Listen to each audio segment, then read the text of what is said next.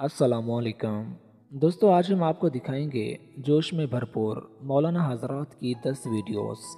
दोस्तों, आपको ऐसी वीडियोस दिखाने का हमारा हरगिज़ मकसद इनकी इंसल्ट करना नहीं होता। आप खाम खां गुस्सा करते हैं। हम तो बस आपके सामने ऐसी चीज़ें लेकर आते हैं, लेकिन आपकी इनके बारे में क्या राय होती है, फैसला आप किया करें कमेंट सेक्शन में आकर।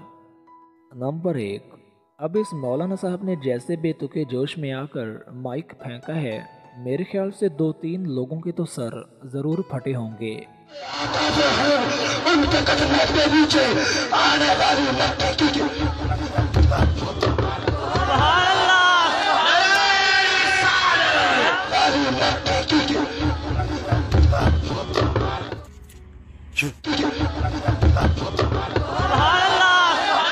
नंबर दो इस मौलाना साहब के चाहने वालों का कहना है कि ये जनाब तकरीर के दौरान अक्सर ऐसे वजद में आते रहते हैं। अब आप इसके बारे में क्या कहते हैं?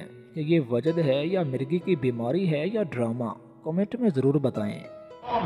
एक सिलसिला है, ऐसे ज़िंदा दरख्त है जिनकी जड़ें ज़मीन पर है।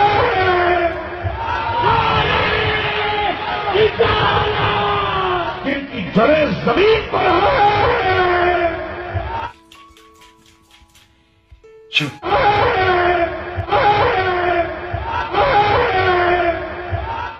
नंबर तीन. दोस्तों, आपने सैफी महफिलें तो देखी होंगी, लेकिन ये महफिल तो एकदम मुनफरिद है। यहाँ तो सभी दीवाने हैं, एक से बढ़कर एक।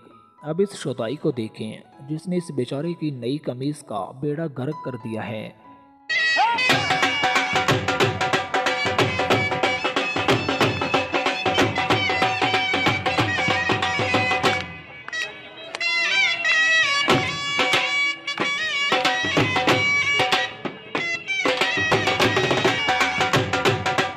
नहीं ये मज़ाक हो रहा है एक सेकंड यार मज़ाक हो रहा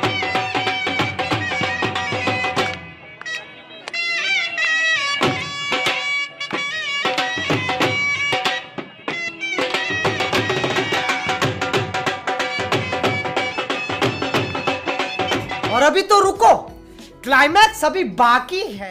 नंबर चार ऐसा जोश तो शायद आप पहली बार देख रहे होंगे। ये मौलाना साहब तो जोश में आकर पंखे के साथ ही लटक जाते हैं। वैसे चाहिए तो ये था कि दो मिनट के लिए पंखा चला देते, ताकि इसका दिमाग अच्छे से साफ़ हो जाता।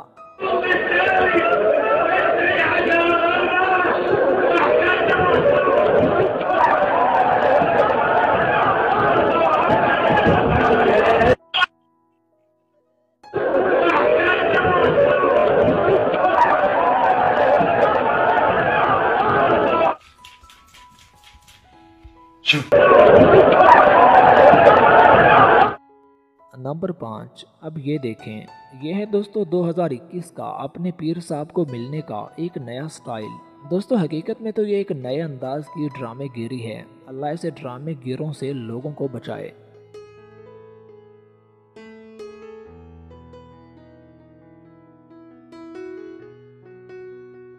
नंबर छः ये मौलाना साहब मस्जिद में बयान कर रहे हैं, लेकिन मस्जिद में बैठने वाले लोगों की तवज्जो इसकी तकरीर की तरफ़ नहीं, बल्कि इसके बेतुके जोश की तरफ़ है।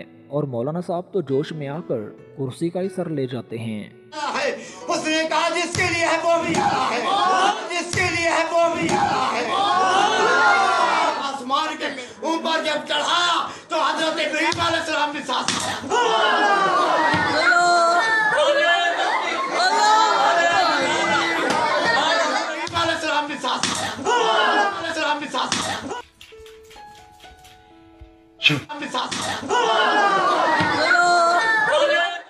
नंबर सात ये खतीब साहब तो तकरीर के दौरान अपनी कमीज ही उतार देते हैं।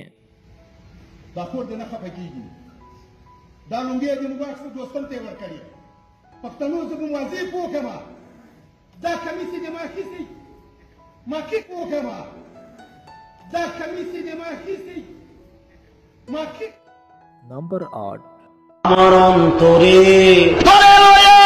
বাজবো বাসা ওই আকাশে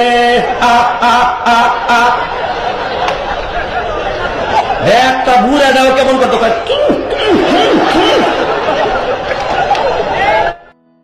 नंबर नौ दोस्तों ये कहने को तो इनकी एक जिक्र की महफिल है लेकिन लग तो ऐसे रहा है जैसे पागलों का टोला है नंबर दस। अब इनको देखें। दोस्तों, इनका लिबास ही मौलाना वाला है, वरना अंदर से ये पूरे बंड हैं।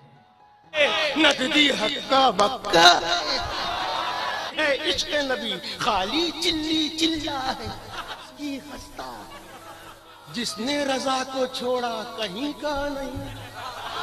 जहाँ हुआ था, वहीं का नहीं।